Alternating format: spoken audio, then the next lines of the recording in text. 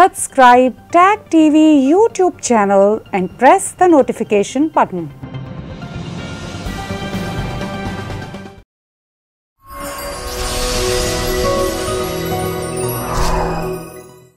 Brain बस के साथ मैं और डॉक्टर रणवीर शारदा आपकी खिदमत में हाजिर हैं व्यूज़ आज हम फिर चाइना के ही उस जो एक्सपेंशनिज़म का उसका एक एम्बिशन है, उस पर बात करेंगे और ये देखेंगे कि क्या इतने गट्स वेस्टर्न वर्ल्ड में हैं जो वो इस वक्त कोविड 19 की सूरत हाल के बाद चाइना पर क्रिटिसाइज़ कर रहे हैं क्रिटिकल हैं।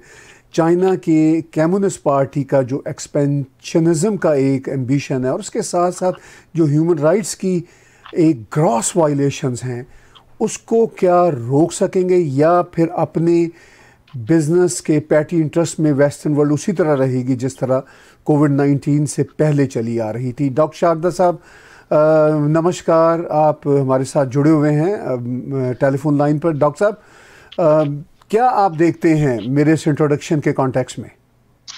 बहुत बहुत धन्यवाद। आपका पहले, सबसे पहले तो मैं अपने जितने भी हमारे मुस्लिम भाई बहन हैं सारे संसार में, उन सबको बहुत बहुत ईद की मुबारक देना चाहता हूँ और उम्मीद करता हूँ कि ये जो ईद है, ये आने वाले टाइम के ऊपर वर्ल्ड में पीस और कहीं ना कहीं अंडरस्टैंडिंग जो है वो ज़्यादा क्रिएट करे। अब आते हैं जी, सबसे पहले कि चाइनीज़ एक्सपेंशनिज्म और वेस्टर्न वर्ल्ड के गट्स के ऊपर। ये थोड़ा सा यहाँ पे हिस्ट्री देना ज़रूरी है कि ये काम शुरू हुआ है जब से आपने कहा कि कम्युनिस्ट पार्टी ऑफ़ चाइना मेरा ये कहना है कि कम्युनिस्ट पार्टी ऑफ़ चाइना से भी ज़्यादा जो इस वक्त प्रेसिडेंट हैं जी, उनकी जो एम्बिशन है कि मैंने चाइना का जो झंडा है वो जगह जगह के ऊपर फहराना है। मैं समझता हूँ कि वो ज़्यादा इम्पोर्टेंट है। और इसमें ये अब काम कैसे शुरू हुआ? हम बात करते हैं हांगकांग से। हांगकांग जो है, वो एक दुनिया की सबसे बेस्ट फ्री पोर्ट थी सबसे बेस्ट वर्ल्ड में। और वो पहले कॉलोनी थी ब्रिटिश की।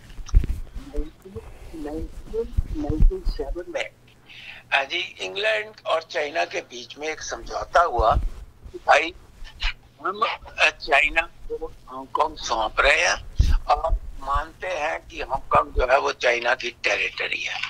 पहले तो सबसे बड़ी जो मिस्टेक की वो इंग्लैंड ने वहाँ पर की। और उसके बाद उन्होंने एक उनके साथ एग्रीमेंट किया। उस कंट्री के साथ जो कि कभी भी किसी एग्रीमेंट्स के ऊपर नहीं टिकता। और उन्होंने एग्रीमेंट किया कि 50 साल तक आप हांगकांग की जो इस वक्त की सिविलाइजेशन है, जिसमें फ्रीडम ऑफ़ स्पीच है, जिसमें फ्रीडम ऑफ़ जस्टिस है, जो जुडिशियल सिस्टम है, उसको आप छेड़ेंगे नहीं। आपको याद है कि आज से 15 साल पहले जब वहाँ पर एक डेमोक्रेटिक प्रोसेस शुरू हुआ और उन्होंने अपना चीफ चुना उसी वक्त चाइना ने उसको हटाकर अपना जो है आदमी या लेडी को वहाँ पर लगा दिया, जो कि प्रो पेकिंग प्रो बेजिंग और प्रो चाइना अब उसके बाद क्या हुआ? उसके बाद ये हुआ कि बहुत ज़्यादा जब वो जो वहाँ पर लेजिस्लेटिव थी, जिसमें मेजोरिटी वो लोग हैं, जो कि डेमोक्रेटिक सेटअप को कंटिन्यू रखना चाहते हैं। उसके बावजूद भी जो वहाँ की गवर्नर हम कह देते हैं उसको, जो अपॉइंटी है ऑफ़ द बेजिंग गवर्नमेंट उसने एक नए कानून बनाने की कोशिश की, ताहिर साहब। वो कानून ये थे कि हम जो यहाँ के बंदी हो उनको मेनलैंड चाइना की प्रिजन में भेज सकते हैं। ये था इशू जहाँ से बहुत बड़ा इशू बना। लेकिन बाद में सब कुछ विड्रा कर लिया गया। अब जो चाइना ने चार दिन पहले ये कहा है कि हम पूरी की पूरी नकेल डालने जा रहे हैं हांगकांग के ऊपर। उन्होंने कहा कि हमारा पर्सपेक्टिव ये है कि हम किसी किस्म, किसी भी इंसान को, किसी भी संस्था को अलाउ नहीं कर सकते कि चाइना के मसले में और चाइना की डिसइंटेग्रेशन में वो उसका हिस्सा बने। और इसलिए उसमें हांगकांग भी जो है, वो भी इंक्लूडेड है। और हम अब चाहेंगे कि हांगकांग जो है उसके ऊपर हमारा राज जो है वो पूरे तरीके से शुरू हो। अब ताहिर साहब सवाल आपको है। इसको कंडेम किया वेस्टर्न वर्ल्ड ने। इसको कंडेम किया पंपोई साहब ने और कंडेम किया है जी और आ, मतलब लोगों ने यूएसए में। खैर अभी तक प्रेसिडेंट ट्रंप ने अपने मुँह से नहीं कंडेम किया। लेकिन वेस्टर्न वर्ल्ड के जो लीडर्स हैं उन्होंने इसको कंडेम किया। क्वेश्चन ये राइज होता है कि क्या condemnation is the only way क्या चाइना कंडेमनेशन की केयर करता है? क्या चाइना यूनाइटेड नेशंस में भी अगर आप रेजोल्यूशन पास कर लो क्या वो केयर करेगा? क्या वो परवाह करेगा? ये सवाल आपको है। जी। आप मुझे ये बताइए कि मतलब जो वेस्टर्न वर्ल्ड है उसमें क्या इतना दम नहीं है कि वो चाइना के सामने खड़े होके ये कह सकें कि हम आपको ये अलाउ नहीं करने देंगे। हाँ जी, इंग्लैंड की वो टेरिटरी थी। अब इंग्लैंड में तो इतनी बड़ी अब कैपेसिटी भी नहीं है, हिम्मत भी नहीं है और कोविड नाइन्टीन ने वैसे भी वेस्टर्न वर्ल्ड को बहुत इस वक्त धक्का लगाया हुआ है। तो इस, इन हालातों में या तो इसका फ़ायदा उठाया प्रेसिडेंट जी ने या उन्होंने सोचा कि इस वक्त हमारा कोई कुछ नहीं कर सकता let's take a chance doctor देखिए, इस पे बहुत सारी बातें हैं। पहले मैं बात वहाँ से शुरू करूँगा जो आपने कहा कि ये प्रेसिडेंट जी का पर्सनल एजेंडा है। मैं समझता हूँ कि प्रेसिडेंट जी और कम्युनिस्ट पार्टी ऑफ़ चाइना में कोई फ़र्क नहीं है। प्रेसिडेंट जी अपने तौर पर कुछ भी इतने बड़े इकदाम नहीं कर सकते, जब तक कम्युनिस्ट पार्टी ऑफ़ चाइना उनके साथ ना खड़ी हो। और इस वक्त इस पावर गेम में जो कम्युनिस्ट पार्टी ऑफ़ चाइना के जो पोलट ब्यूरो के रुकन हैं, वो maximum number of them are with president ji president ji is with them वो उनका एक चाइना ड्रीम का एक जो प्रोजेक्ट है वो वो आगे चल रहा है। अब हम आते हैं वेस्टर्न वर्ल्ड की तरफ़। देखिए, जो हांगकांग के प्रोटेस्ट हैं, वो कोई तकरीबन दो साल से हो रहे हैं और ऐसी बात नहीं कि वेस्टर्न वर्ल्ड उसका साथ नहीं दे रही थी। वेस्टर्न वर्ल्ड पूरी मदद दे रही थी हांगकांग के प्रोटेस्ट को आगे लेकर जाने में चूँकि वो डेमोक्रेसी का एक सिलसिला है और वो वेस्टर्न वर्ल्ड को सूट भी करता है। वो सारा चल रहा था। अब बीच में ये कोविड आ गया। कोविड आ गया तो हर चीज़ जामद हो गई, मगर हांगकांग ने और जो आसपास के कंट्रीज़ ने काफ़ी कंट्रोल रखा। अब जो हम ये सोचें कि क्या कोविड 19 से फ़ायदा उठाते हुए प्रेसिडेंट जी ने ये स्टेप लिया है। मेरे पास एक डिफरेंट सिनेरियो है, एक डिफरेंट इन्फॉर्मेशन है। असल में कोविड 19 की सिचुएशन से फ़ायदा उठाते हुए हांगकांग के जो लोग हैं, वो एक आज़ादी की मुहिम को काफ़ी आगे लेकर जा चुके थे। आपने ज़िक्र किया कि वो इंग्लैंड का हिस्सा होता था। वो तो कब की बात ख़त्म हुई? जब 99 इयर्स का लीज़ का मामला ख़त्म हुआ तो उस वक्त वो चाइना की एक तरह से ऑटोनमी में आ गया। और तब से वो एक ऑटोनमस प्लेस के तौर पर भी चलता रहा, मगर under the umbrella of China देखिए, अगर हांगकांग की हम हिस्ट्री देखें हांगकांग हो ताइवान हो वियतनाम हो इवन साउथ कोरिया ये सारे वही सीनो नेशंस के लोग हैं, वही चाइनी चाइनीज़ लोग हैं, मगर ये बहुत डेमोक्रेटिक नेशंस हैं। और इवन चाइना में भी अगर ये कम्युनिस्ट पार्टी का स्ट्रॉन्ग होल्ड ख़त्म हो तो चाइना में बिल्कुल वेस्टर्न स्टाइल की डेमोक्रेसी आ जाएगी। चाइना में उसकी पूरी की पूरी इन्वायरमेंट मौजूद है, मगर कम्युनिस्ट पार्टी ऑफ़ चाइना ने अपने शिकंजे में सबको रखा हुआ है। अब इस सारी सूरत हाल में अगर हम ये कहें कि ये वेस्टर्नर जो कंट्रीज़ हैं, उनकी मतलब कंडेमनेशन काफ़ी नहीं, उनका साथ होना चाहिए। मैं पहले तो सलाम करता हूँ, ख़ुद उन चाइनीज़ को। जो हांगकांग में सिंगापुर में वियतनाम आपके ताइवान वो सब चाइनीज़ हैं। वो जो उठ खड़े हैं इवन मलाइशिया इंडोनेशिया के चाइनीज़ भी कम्युनिस्ट पार्टी के हामी नहीं हैं हाँ वो चाइनीज़ ज़रूर हामी होंगे इन मुल्कों में, जिनके इंटरेस्ट जुड़े हुए हैं।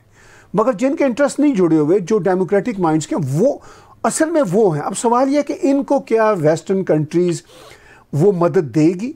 ये ये एक अहम इशू है। देखिए, दो दो इशू हैं। एक तो ये कि वेस्टर्न कंट्रीज़ क्या उनको मदद देगी? पहला सवाल। दूसरा ये कि क्या वेस्टर्न कंट्रीज़ में इतने गट्स हैं कि वो चाइना के आगे खड़े हो सकें, जो हमारा मेन टॉपिक है?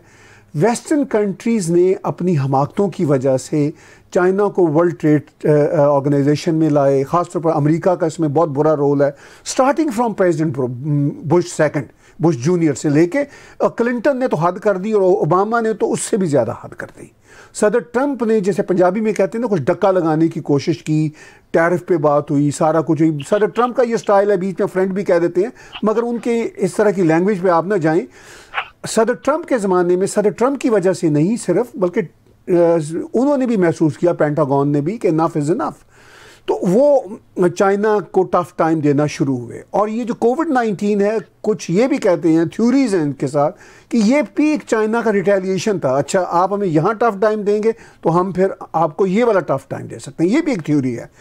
एनी हाउ अब वर्ल्ड ये देख रही है कि चाइना पर जो लो कॉस्ट लेबर की वजह से इतना दारोमदार किया जा रहा था at least for the past twenty years उसको कैसे ख़त्म किया जाए और अपनी प्रोटेक्शनिज्म की तरफ़ कैसे आ जाए? ये एक तो ये वेस्टर्न वर्ल्ड का ये है। ये डॉक्टर साहब ओवर द नाइट नहीं होगा। दूसरा मिलिटरीली अगर कुछ वेस्टर्न वर्ल्ड कुछ करेगी वो आज की दुनिया में मिलिट्री एक्शन बड़ा नामुमकिन है चूँकि किसी तरह से भी कोई मिलिट्री एक्शन हो तो पक्की बात है थर्ड वर्ल्ड वॉर में शुरू हो जाना है। देखिए ताहिर साहब आपने एक आप, आपने एक बड़ा इंटरेस्टिंग पॉइंट रेज किया कि जब पिछले दो साल से डेमोन्स्ट्रेशन चल रही थी हांगकांग जी जी। तो उसको बकायदा अमेरिका और वेस्टर्न वर्ल्ड ने सपोर्ट किया। जी। ये जो अब चाइना स्टेप लेने जा रहा है हांगकांग के ऊपर ये सबसे बड़ी वजह यही है कि चाइना को ये कंफर्म था कि ये जो लोग हैं they are getting help from the western world specially from America England में तो इतनी हिम्मत नहीं थी अमेरिका जो था वो उनको हेल्प कर रहा था। Right. अब अब इसलिए उन्होंने ये स्टेप उठाया और जहाँ तक आप ये बात करते हैं कि जो थर्ड वर्ल्ड वॉर की देखिए दुनिया में बहुत बहुत डिफरेंट किस्म के तरीके हैं जिससे कंट्रीज़ को सबक सिखाया जा सकता है। Right. हमारे हमारे सामने है ईरान की एग्जांपल है जी हमारे सामने है वेनेजुएला की एग्जांपल right. हमारे सामने है है जी क्यूबा की example there is no way वो जो फ़ार्मिंग प्रोडक्ट्स हैं वो अगर चाइना उनसे ना खरीदे तो वो कहीं और ज़्यादा बेच सकते हैं। क्योंकि डिमांड उस चीज़ की जितनी पार्ले की चाइना में है, उतनी शायद डिमांड कहीं और नहीं। जितनी मेज की डिमांड है, उतनी कहीं और नहीं। है, ऐसे वीट जो वहाँ पर इस वक्त मतलब सामान प्रोड्यूस किया जा रहा है एग्रीकल्चर वो कहीं ना कहीं जो प्रेसिडेंट हैं, उनके हाथ में प्रेशर डालती है कि भाई साहब, आप क्या करने लगे हो? हमारी इंडस्ट्री अगले दिन ठप हो जाएगी, क्योंकि हम डिपेंड करते हैं, बहुत पार्ट जो कि चाइना से आते हैं। अब इन, आपने कहा कि ये अपने आप में प्रोटेक्शनिज्म जो है, उसकी, उसको लगेंगे साल। यस चार से पाँच, छह साल भी लग सकते हैं। मेरा सवाल सीधा था ये है वेस्टर्न वर्ल्ड को, यानी कि क्या उनमें ये कट्स हैं? कि वो इकोनॉमिक सैंक्शंस चाइना के ऊपर लगा सके नंबर वन नंबर टू अगर वो लगा देते हैं कि China is not like Iran कि जहाँ पर सुन्नी की मेजोरिटी है मुसलमानों की और वो भी अमेरिका के साथ चले जाएँगे भाई चलो शिया के ऊपर लगा दो। है क्योंकि वहाँ पर सऊदी अरेबिया और ईरान की आपस में लड़ाई है। हाँ नहीं वहाँ पे शिया की मेजोरिटी है ईरान में। वही मैंने कहा था सुन्नी और शिया की। जी। वहाँ पर सऊदी अरेबिया जो है वो वेस्ट वर्ल्ड के साथ चल पड़ा। है और बाकी के कंट्रीज़ भी चल पड़े। लेकिन अगर आप चाइना के ऊपर लगाते हो जी, इस किस्म की इकोनॉमिक प्रोटेक्शन तो पहले तो आप ये समझ लो कि 100 एंड एंड 93 यूनाइटेड नेशंस के कंट्रीज़ हैं। उनमें से 100 कंट्री तो मानेगा ही नहीं अमेरिका की या वेस्टर्न वर्ल्ड की इकोनॉमिक सैंक्शंस को। 100 कंट्रीज़ मैं आपको मतलब अगर कहो तो मैं वो सारे कंट्री भी गिना सकता हूँ एशिया के साउथ अमेरिका के इवन यूरोप के भी which they will not accept sanctions against China. अब वो जो कर्ज की बात करते हैं मुझे ये बताइए कि अगर कोई स्कीम आप लागू करते हो उसके आपके साथ जो है आपके अपने साथी नहीं चलने को तैयार या आपके वो कंट्री जिनको आप समझते हो आपके साथ चलेंगे हो सकता है कि even India will not agree तो आप मुझे ये बताइए कि ये जो गट्स की हम बात कर रहे हैं, ये अल्टीमेटली लड़ाई तो एक तरफ़ लड़ाई का तो दिमाग से ही निकाल दो। कि लड़ाई हो सकती है थर्ड वर्ल्ड वॉर क्योंकि लड़ाई का तो ताल्लुक ही नहीं है। लड़ाई means that means the any relation of the human beings all over the world it doesn't matter China America और एनी अदर कंट्री अब आप मुझे ये बताइए कि जब हम गट्स की बात करते हैं तो सबसे बड़ा जो हमारे पास काम है, वो है इकोनॉमिक फैक्टर अब इकोनॉमिक फैक्टर के ऊपर आप थोड़ा सा ये बात करें कि किस तरीके से चाइना के ऊपर प्रेशर पड़ सकता है और जो चाइना ने देखिए, इसमें कोई शक नहीं है कि ये तो अभी चलो डिबेटेबल है कि क्या चाइना ने ये जबर मतलब इंटेंशनली ये जो है कोरोना वायरस उसको पैदा किया या भेजा, ये तो बात की बात है। लेकिन इस वक्त तो हम कोरोना वायरस को फेस कर रहे हैं और अगले चार पाँच साल के लिए वर्ल्ड की इकोनॉमी का काफ़ी बुरा हाल रहना है। तो अब आप मुझे ये बताइए कि इकोनॉमिक सैंक्शन कैसे लग सकते देखिए, डॉक्टर साहब, बात यह है कि ईरान की आपने बात की, ईरान में भी इकोनॉमिक सैंक्शंस कोई ओवर नाइट नहीं लग गई। ईरान पे इकोनॉमिक सैंक्शंस अभी भी, अभी काफ़ी हद तक लग चुकी है, लेकिन अभी भी कई मुल्क उनके साथ सौदा सलफ करते हैं, काम चलाते हैं। खुद चीन का उनके साथ चोरी छुपे काम चलता रहता है, और भी कई मुल्कों का काम चलता रहता है। और कुछ बरल, वो काम कम हो गया है चूँकि अमेरिका ने दिन ब दिन वो सख्ती बढ़ा दी है। तो लेकिन ये भी देखिए, मैं पहले ईरान के मॉडल को, फिर चाइना के मॉडल के साथ कंपेयर करूँगा कि ईरान की जो जो मेजॉरिटी ऑफ़ द पीपल जो मेजॉरिटी ऑफ़ द ईरानियन हैं, वो ईरान की रजीम के साथ नहीं है। कोई ईरान ख़िलाफ़ नहीं है चाइना के, ईरानियन ख़िलाफ़ नहीं है। रजीम जो है, वो ख़िलाफ़ है अमेरिका के।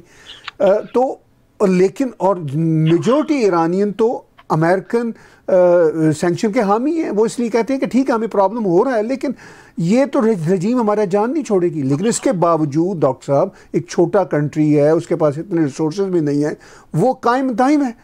अब आप चाइना की इकॉनमी को देखें, यानी आप ये देखें कि ईरान के ख़िलाफ़ फुल फ्लैज अमेरिका कई सालों से खड़ा है सेंक्शन लगा रहा है, और बहुत सारे वेस्टर्न कंट्री उसकी बात भी सुन रहे हैं।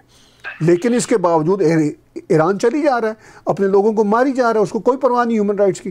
तो चाइना, अब आप देखें, अगर इसी मिसाल को आप चाइना के लेवल पे देखें तो वो इतना बड़ा मुल्क है, अब इतनी बड़ी वो इकोनॉमिक पावर है, इतना बड़ा प्रोडक्शन हाउस है कि अब वो, उसके साथ आप गट्स अगर आपके पास हों भी तो आप डील नहीं कर सकते। एक ही रास्ता है सेंक्शन लगाने से एक तो सेंक्शन लगाना चाइना पे कोई इतना आसान नहीं है इसलिए कि चाइना की अपनी इतनी बड़ी मार्केट है और जैसा कि आपने कहा वो अपने रीजन में इंडिया के साथ और बहुत सारे कंट्रीज़ के साथ वो कारोबार करता रहेगा। कोई China is not like Iran Iran को आप कुछ नहीं कर सके। सारा कुछ मसल्स दिखाने के बावजूद क्यूबा जो अमेरिका की बगल में बैठा था क्या बिगाड़ लिया? गुर्बत में मर रहा है क्यूबा। अब चाइना को आप देखिए क्या सिर्फ़ एक ही हाल है कि किसी तरह से जमहूरी ताकतों को चाइना में आ, मदद दी जाए और ये जो कम्युनिस्ट पार्टी ऑफ़ चाइना है इसको ओवरथ्रो किया जाए। ये है सिर्फ़ द ओनली सोल्यूशन ये है। आप आप सेंक्शन लगा के भी सेंक्शन लगाने का डॉक्टर साहब जो अमल है वो ऑटोमेटिकली कई सालों का और उस पर अमल नहीं हो पाता दुनिया में। इसलिए कि दुनिया की इकॉनमी सेंक्शन पे नहीं चलती वो ज़रूरियात पे चलती हैं डिमांड एंड सप्लाई पे चलती हैं वो चलती रहेगी। लेकिन सिर्फ़ और सिर्फ़ ये है कि अमेरिका और वेस्टर्न वर्ल्ड जो मैं देख रहा हूँ बीस पच्चीस साल से ख़ास तौर पर नाइन अलेवन के बाद, इनको समझ नहीं आ रही कि ये जो एक्सट्रीमिस्ट ईवल फोर्सेस हैं, इनको कैसे राह रास पे लाते हैं। मिसाल के तौर पर ये इस्लामिस्ट हैं, या ये कम्युनिस्ट पार्टी ऑफ़ चाइना है। अब इस्लामिस्टों का पर जो है हावी आना वो मुसलमानों पर सेंक्शन लगाने से नहीं होगा। वो इस्लामिस्टों के जो पक्के 20-30 दुनिया के खौफनाक ग्रोह हैं, उन पर सही क्रैक डाउन किया जाए ना। अब देखिए, इंडिया में जैसे अमेरिका ने हमेशा आँखें बंद की रखी, ये लश्कर तैयबा और इस तरह के ग्रोहों पे। ठीक है? अब वो एक तरफ़ से कहता है जी कि हम वो अलकायदा के ख़िलाफ़ हैं, दूसरी तरफ़ से तालिबान के साथ आजकल टेबल पे बैठ गए हैं। तो यही तो इनकी बेवकूफ़ी है। अब इसमें ना तो अफ़गानियों का कसूर है, ना मुसलमानों का कसूर है। ये अमेरिका की अपनी स्टूपिड पॉलिसीज़ है ना, कि इनको बात ही समझ नहीं आती। ये बिक जाते हैं अपने ही लोगों की बेवकूफ़ी के हाथों।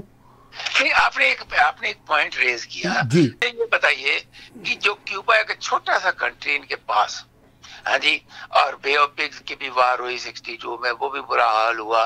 हाँ जी अब मुझे बस ये आपसे समझना है कि ये जो पास कंट्री है है क्यूबा जिसके लोगों की हालात बहुत खराब है उसको तो ये कुछ नहीं कर सके। अब वेंजुएला ले लो। वेंजुएला में जितनी बुरी हालत है लोगों की उतनी बुरी तो क्यूबा में भी नहीं है। है, उसको भी ये कुछ नहीं कर सके। मतलब वहाँ की भी ये लोगों को नहीं उठा सके।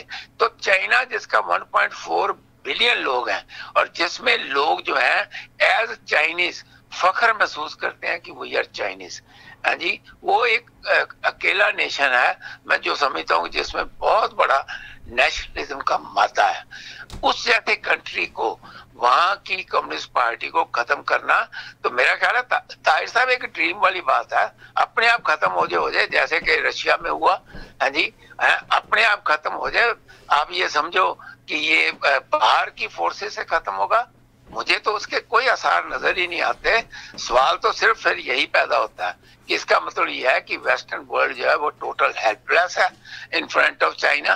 Doctor साहब, बात यह है कि सोवियत यूनियन में वो खुद से कोई ख़त्म नहीं हुआ था, कम्युनिज्म का सिलसिला। उसके दो फैक्टर्स थे। एक तो ये था कि वेस्टर्नर एक, उस ज़माने में ये ज़रा स्ट्रांग होते थे। उस ज़माने में ये डट जाया करते थे। ये डटे सोवियत यूनियन के खिलाफ। सोवियत यूनियन की जो एक्सपेंशनिज्म की जो थी पॉलिसी वो चाइना की तो कुछ भी नहीं है।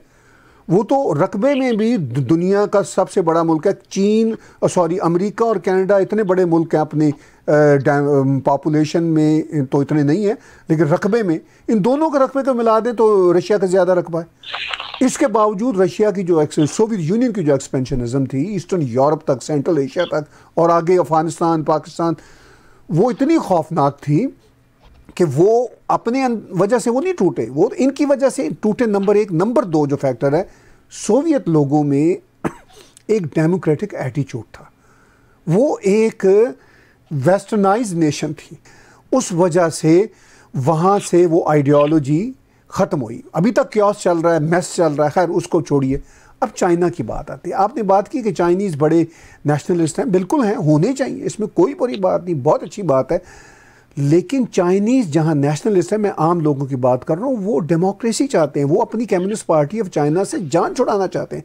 इसलिए कि उन्होंने दुनिया के बड़े बड़े जो इंसेंटिव है, ज़िंदगी के इंसेंटिव चाइनीज़ ने समझ लिए हुए वो टेक्नोलॉजी में बिज़नेस में बहुत आगे जा चुके हुए हैं।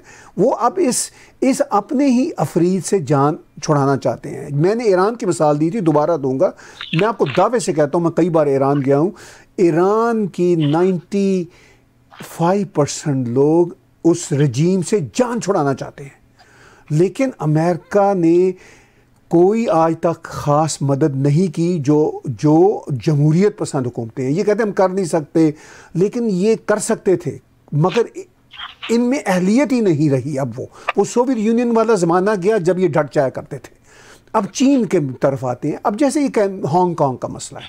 अब चीन ने क्यों हांगकांग पे ये नया लॉ लेकर आए हैं दो दिन पहले? चूँकि उससे वेस्टर्नर और ऑस्ट्रेलिया और ये सब ये तय कर रहे थे कि ये हांगकांग में आज़ादी की बात को बढ़ाते हैं। ये कोई ये नहीं था कि इन्फॉर्मेशन नहीं थी चाइना को। अगर मुझे और आपको आइडिया है तो चाइना को और हर स्टेट की इंटेलिजेंस को पूरे का पूरा पता होता है क्या हो रहा है। उनको पूरा पता था।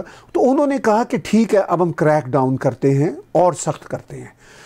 तो अब अगर वो चाइना क्रैक डाउन कर रहा है तो अब देखने वाली बात यह है कि क्या वेस्टर्नर कंट्रीज़ जो हैं, वो जमहूरियत पसंद लोगों का जो चाइनीज़ ही हैं, उनकी मदद करेंगे? ये तो बात आप भूल जाइए कि कोई फौजें किसी कंट्री में आप घुस सकती हैं। ये तो बात इतने बड़े लेवल इतने बड़े कंट्रीज़ में पॉसिबल नहीं रही। वो तो खुद चीन में, मैं आपको दावे से कहता हूँ, आप कम्युनिस्ट पार्टी ऑफ़ चाइना पर किसी तरीके से कंट्रोल कर लें तो चाइनीज़ 90 परसेंट लोग आपके लिए बैंड बाजे बजाएँगे। लेकिन मैंने कहा, ये ईरान की एक छोटी सी रजीम पे कंट्रोल नहीं कर सके। उससे छोटा कंट्री क्यूबा है, उस पर ही पर ही कंट्रोल नहीं कर सके।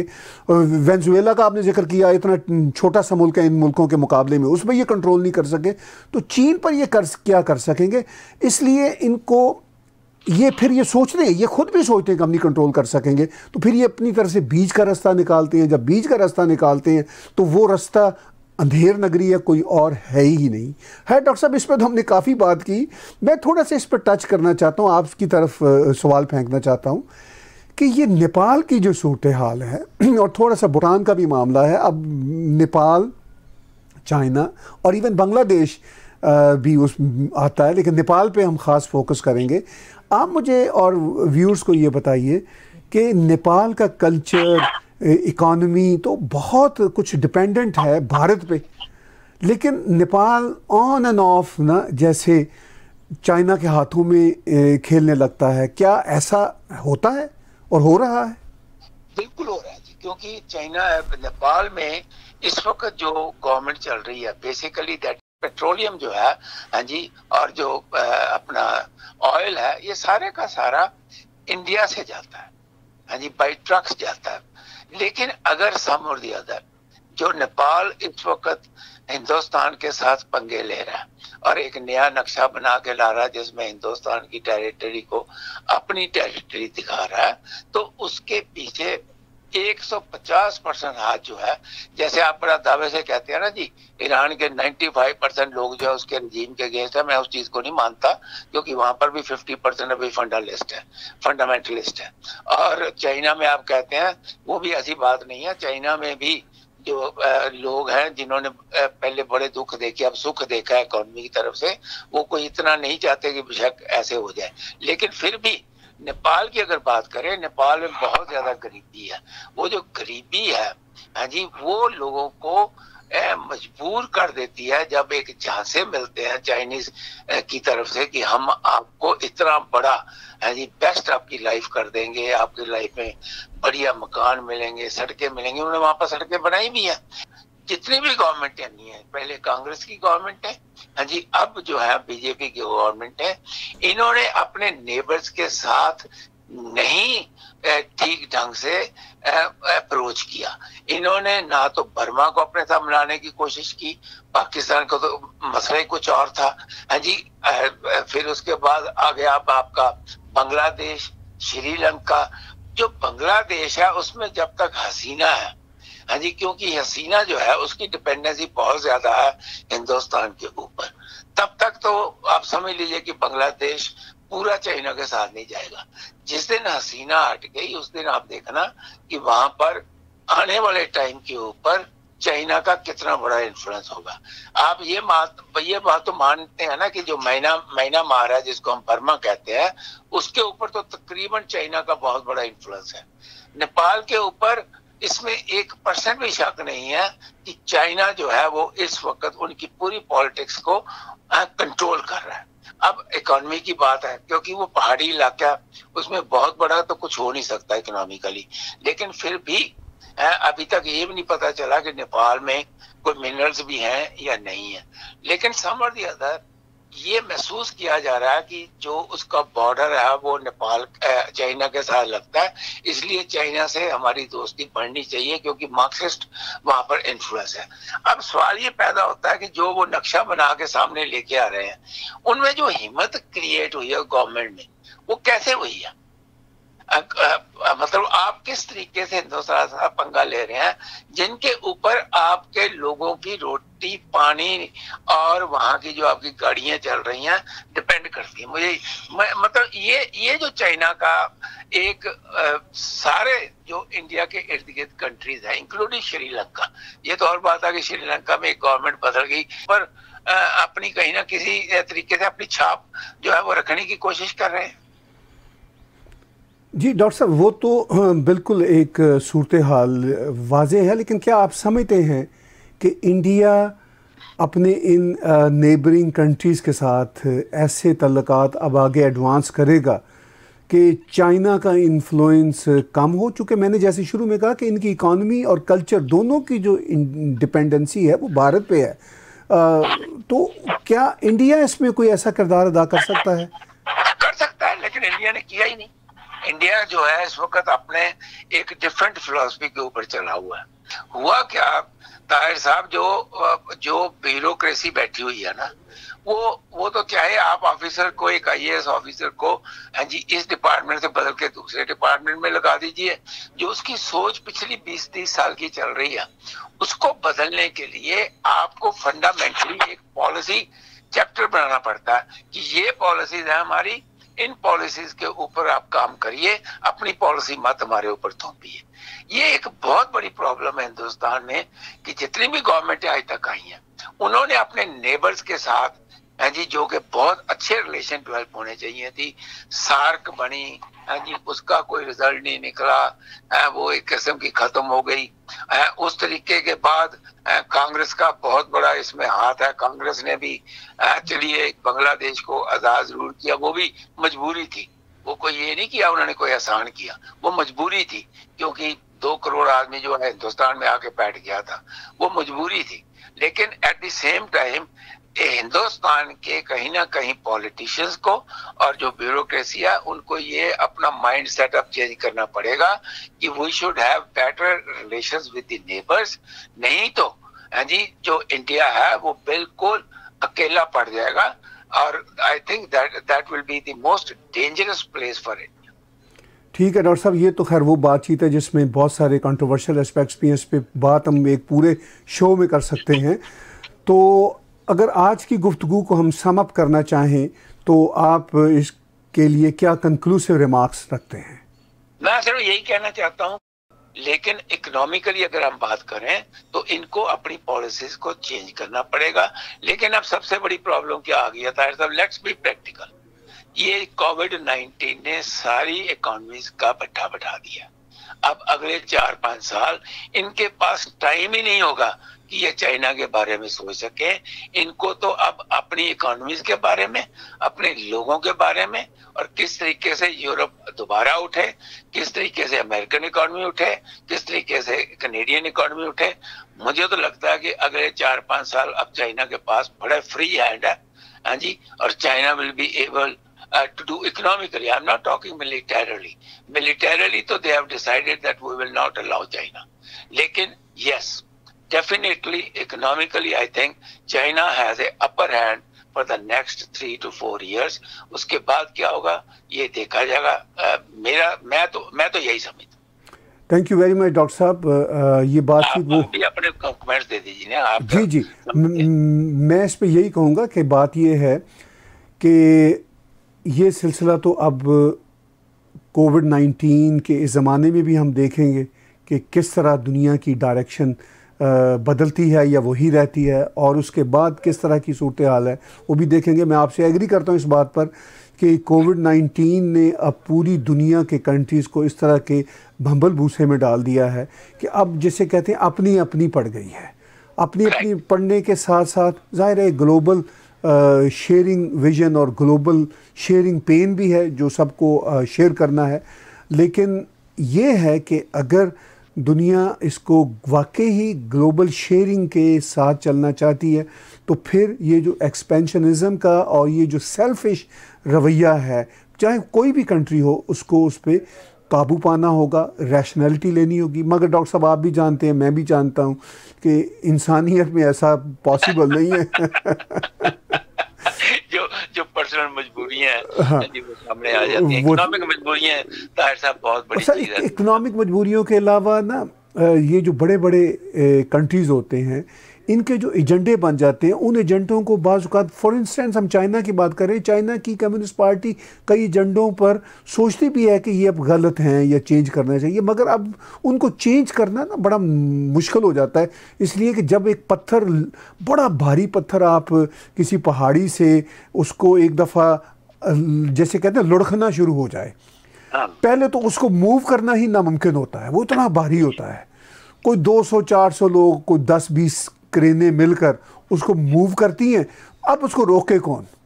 अब उसको रोकना, वो यानी ये इसी तरह की ये पॉलिसियाँ होती हैं, ये बड़े बड़े कंट्रीज़ की पेंटागन की हो चाइना की हो, अब वो जब तक वो खुद से ना रोकें और उनके रुकने तक एक बहुत बड़ी तबाही आ चुकी होती है दुनिया में। चलिए ताहिर साहब, यही यही आस करते हैं कि आने वाले टाइम के ऊपर जो इस वक्त इकोनॉमिक डिफिकल्टीज और कोविड नाइन्टीन की डिफिकल्टीज दुनिया के ऊपर पड़ी हुई हैं, उनसे कहीं आने वाले टाइम के ऊपर राहत मिले।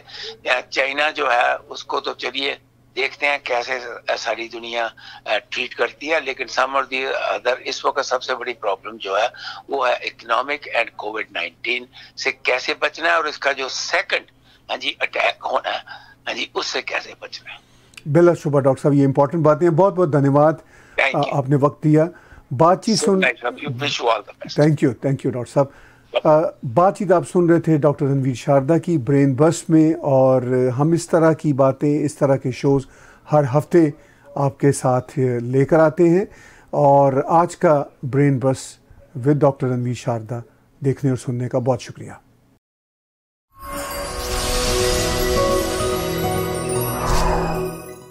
Subscribe Tag TV YouTube channel and press the notification button.